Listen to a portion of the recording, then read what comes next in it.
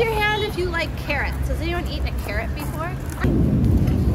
There's some carrots in there. So look, we have oh, some yeah, big carrots and we have some little tiny Good carrots. One. Loosen it up and let's see what we get. Oh, we almost got it. Oh, pull that out. What'd you find? Wow! Is, aren't these like hidden treasures in there?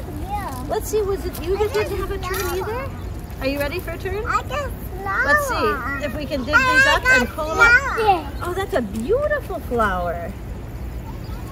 Oh, thank you. Look at these carrots. We're gonna wash these and eat these coming up as a little snack. For Pool when she does. Let's see. Get it in and loosen that up.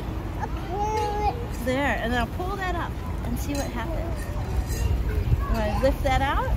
What'd you get? Carrot. Wow, nice job, you guys. Thank you for helping us harvest these things. I think we have enough that we can wash these and you guys can eat them.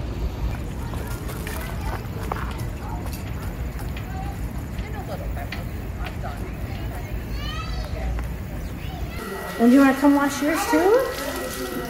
Let's use your hands to really get this clean. To scrub that carrot off. There you go. And you guys will be able to eat it. And you want to use your hand to scrub the dirt off? We'll kind of get that dirt off with our hands because then you'll be able to eat it. There we go. Now it's all clean. Thank you guys. Yes. Yeah, Yeah. okay. She wants Hey, oh, be careful. One finger there. How was your carrot?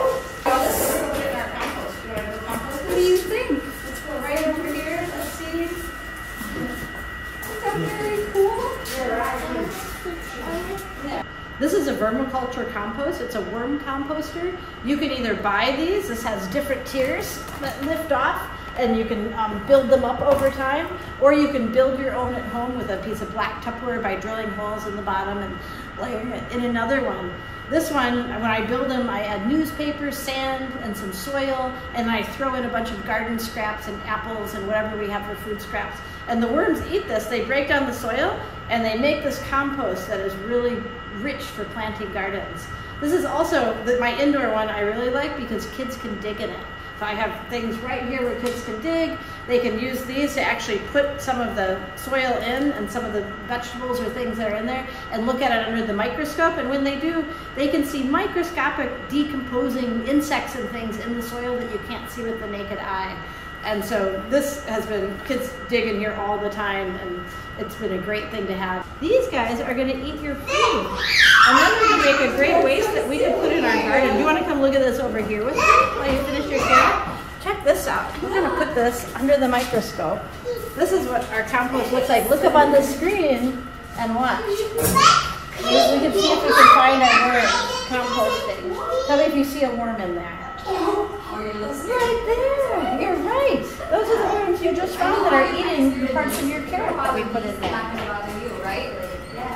Whether you're going to garden with kids or get them out in nature playing every day through the seasons, or even having them interact with animals if you decide to have chickens at your child care or daycare center or an in-classroom animal, you're helping kids make these connections to nature that are lifelong connections that are important for them to grow up and become environmental stewards and love the world where they live. You're helping them learn biodiversity, um, different plants and species, and when they grow up with this love, they're more likely to help take care of the earth when they get older. Getting them out to garden just helps them learn to eat more nutritiously and um, learn about all the different types of plants that grow. It also connects them to different cultures by eating different things that different people grow around the world. So I really recommend if you can put a garden uh, in your daycare, in your child care, whether it's a home child care, it'll really help kids nourish them, their spirit, their mental health, their physical health, and they'll just grow and flourish.